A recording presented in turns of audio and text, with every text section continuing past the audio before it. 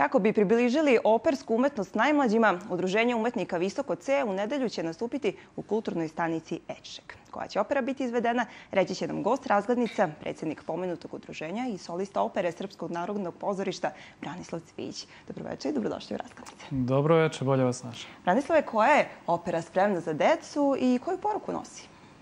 Pa mi smo prošle nedelje izveli Snežanu, poznatu bajku, a ove nedelje 25 oktobra je na redu Pčelica dana.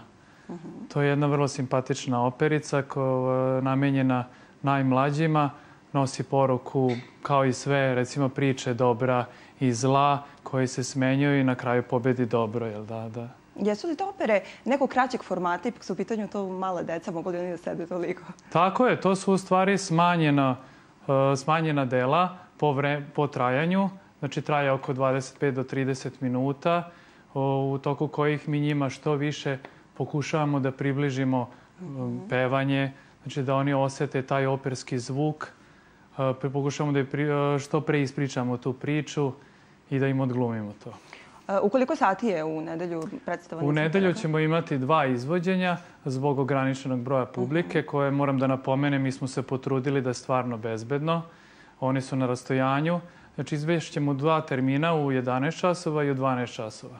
Dobro, dalje još uvijek ima karata. Kako može doći do karata? Kako se može doći? Može se pozvati broj telefona 065 677 5353 i rezervisati uh, ulaznice. Recimo da je to nešto što je neophodno uh, kako bi znali koji je broj publike. Uh -huh, broj A može se vidjeti na Facebook stranici Udruženja umetnika Visoko C gde postoje svi podaci Koristio bi, iskoristio bih samo priliku da najavim da je ovo početak ove sezone i mi smo zamislili da svakog meseca izvedemo dve opere za dece. Mi na repertoaru imamo već devet naslova, tako da bi u novembru izveli Crvenkapu 8. Mm -hmm. novembra i 22. novembra bi izveli Mačka u čizmama.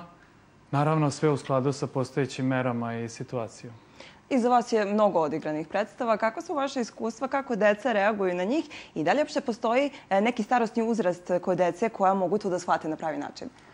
Verujte da smo od 2015. od kada postojimo odigrali više od 500 izvođenja uh, ovih devet pomenutih predstava i imamo sve samo pozitivne komentare. Znači, ovo je nešto što nije bilo u praksi ni u Novom Sadu, a ni u našoj zemlji. E, tako da pozitivne iskustva nam dolaze ne samo od dece, nego i od roditelja, jer nekako pravimo ta dela da su približna i deci i roditeljima i svi su vrlo zadovoljni. Do sada bili.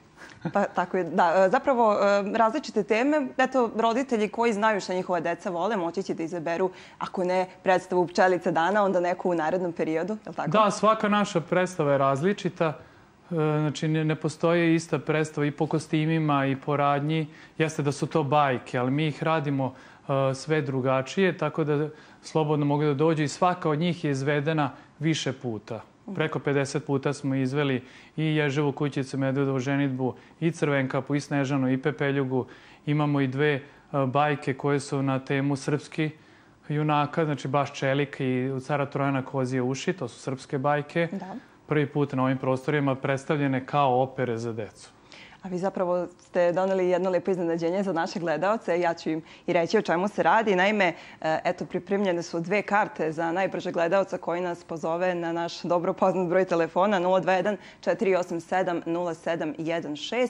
Dakle, osoba koja nas pozove prva dobit će e, dve ulaznice za operu za decu u nedelju. Da, za izvođenje od 12 časova. Hvala vam najlepše što ste izdvojili vrijeme za Hvala vam puno.